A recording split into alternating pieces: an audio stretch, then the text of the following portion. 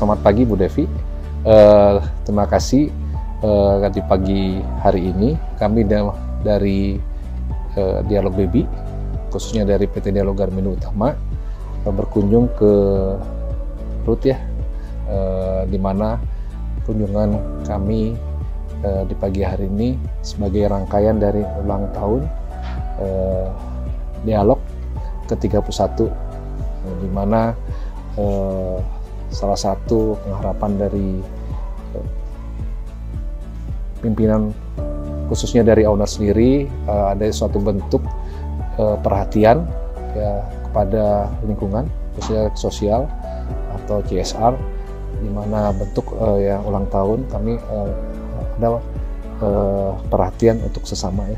Untuk itu kami hadir di sini ya. Kiranya juga uh, bentuk perhatian kami untuk yayasan sendiri bisa diterima dengan baik dan juga uh, kerjasama dari PT Dialog Armindo uh, Tama sendiri atau dari Dialog Baby sendiri dengan Yayasan Rut ke depannya uh, bisa uh, lebih baik lagi. Mungkin itu uh, sedikit uh, kata sambutan dari saya. Terima kasih.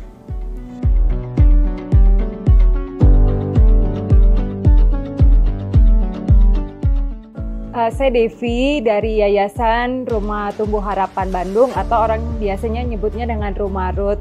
Uh, saya selaku ketua yayasan di tempat ini mengucapkan banyak terima kasih buat uh, Dialog Baby untuk supportnya, dukungannya buat kami ya.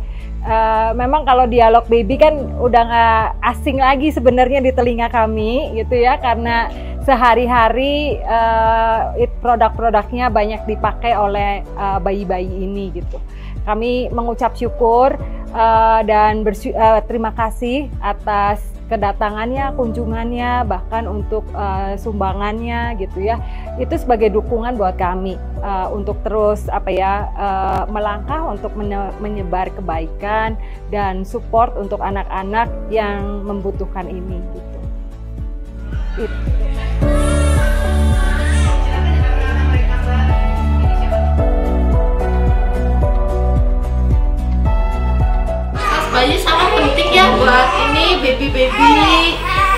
Manfaatnya banyak sekali.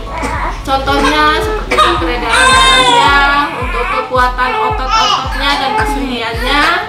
Uh, tidurnya juga jauh lebih nyenyak dan bisa untuk uh, apa menambah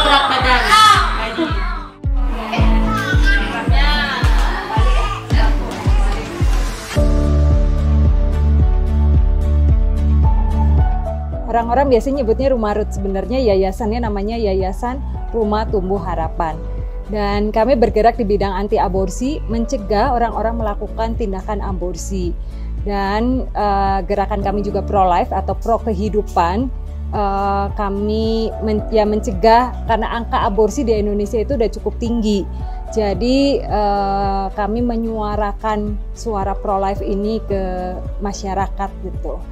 Dan uh, satu lagi adalah kami bentuknya rumah singgah, kami menampung wanita dengan kehamilan yang tidak diinginkan dan bayi-bayi yang batal aborsi.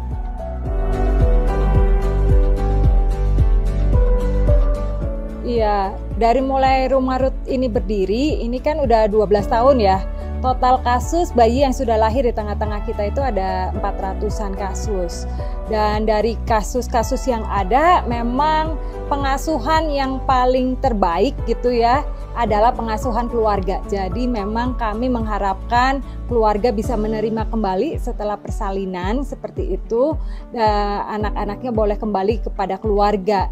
Tapi jika tidak memungkinkan baru uh, ada langkah-langkah berikutnya atau solusi-solusi yang lain uh, seperti adopsi atau uh, diasuh oleh kami di yayasan seperti itu.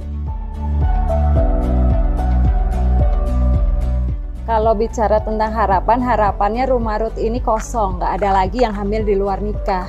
Tiap ada klien yang datang itu itu sedih banget ya jadi memang harapan kita di luar sana tidak ada lagi orang-orang yang melakukan free sex, kehamilan yang tidak diinginkan, bahkan melakukan percobaan-percobaan aborsi.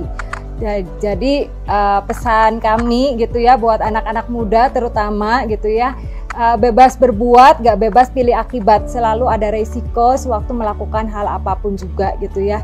Dan juga buat yang sudah terjadi uh, kehamilan, jangan lakukan aborsi, jangan buang bayi itu, jangan ditelantarkan karena satu kehidupan itu berharga dan kita nggak pernah tahu Tuhan akan jadikan apa anak itu, tapi kita percaya nggak ada yang kebetulan.